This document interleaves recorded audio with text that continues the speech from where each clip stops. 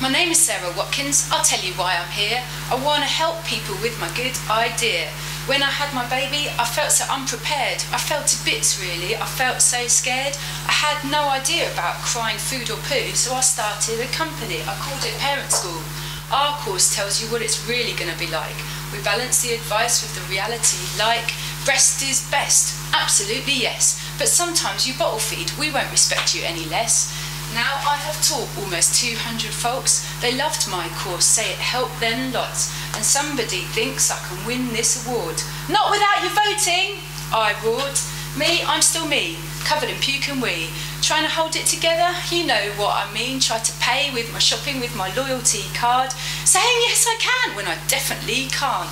Puke on my shoulder, babies on my lap. Of course I can talk now. I can even rap. I'm a business mum. I'm always on the run. Quickly washing up while I talk to the bank, negotiating deals when my hair looks rank, kissing hurt knees, making sour knees, talking seriously while pretending to be a bee. This is the life of a business mum me. Thanks for your time now, please vote for me.